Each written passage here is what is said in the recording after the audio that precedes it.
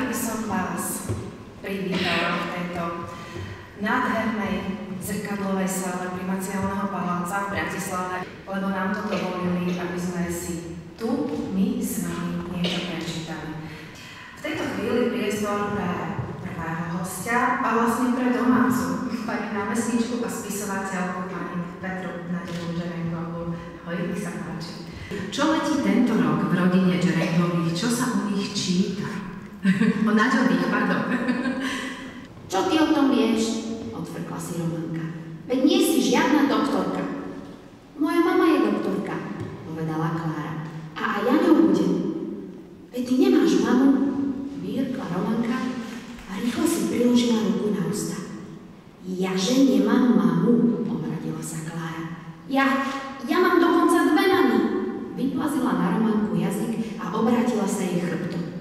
očiach ju zaštýpali slzy. Taká hlúpaňa, čo tá o tom vie? Celý náš projekt je o tom, taká tá základná myšlienka je, čítajme deťom 20 minút denne. Vy ste už trošku väčšie deti a ani sa nenazdáme, za chvíľočku budete rodičia. A rovnako, to bude, to bude tak strašne rýchlo, že si to ani nevšimnete, ani vaši rodičia si to nevšimnú, lebo ten čas naozaj veľmi, veľmi rýchlo letí. V tejto chvíli náš ďalší vzácný host, spisovateľ pán Tomáš Jelenc. Pekný dobrý deň, vítam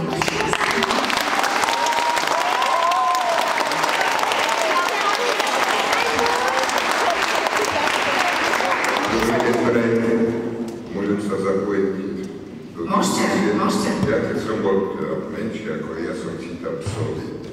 Počúval, počúval, aj sa mi odmenil, dostal som honorár proti. Takže potom mi mamka nedovolila čítať psovi.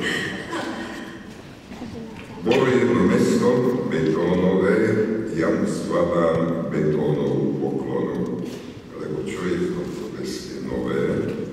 Nové sú všetky stromy z betónu. Z takých stromov neopadnú listy.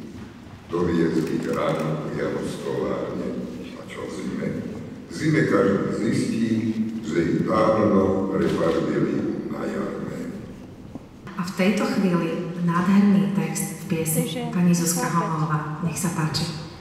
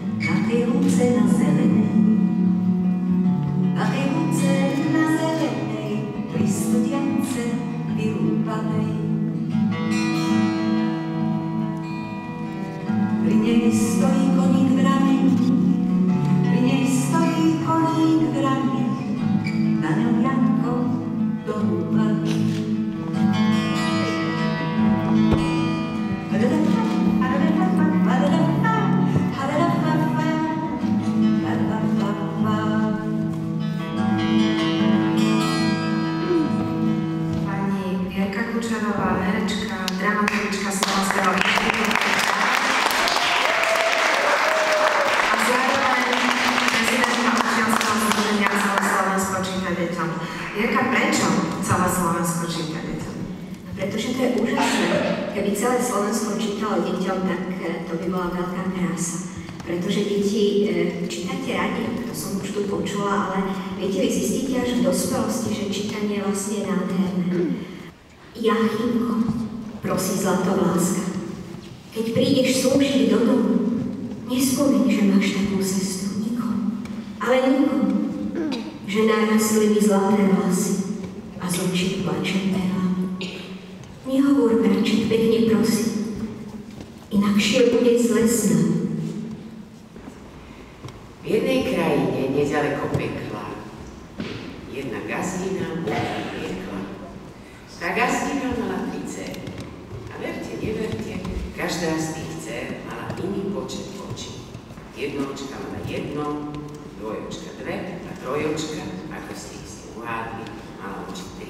Verím, že po tých knihách budete veľmi radi siahať budete čítať aj babkám, aj detkom. Máme pre vás Milteny, máme pre vás plagáty a sme na Facebooku